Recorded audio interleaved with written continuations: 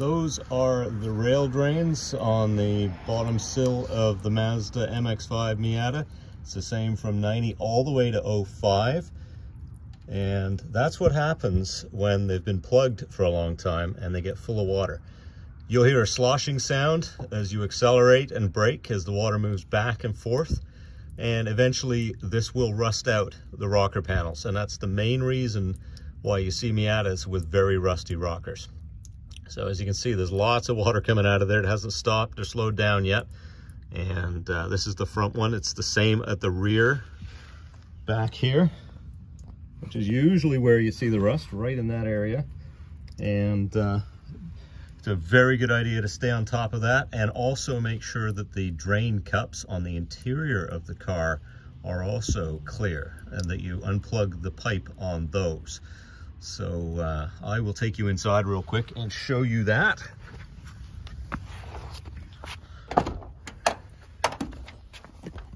we go, going in. Now it's not easy to see in here, but this is where we're going. We're going in this far corner and we're gonna pull this carpet back. And. That there, my friends, is the cup that the rain rail, which you can see just the edge of right here, get my hand all the way in there. There you go. That's the end of the rain rail. It deposits water directly into this cup. And there's a hole right about, where's that hole? There it is.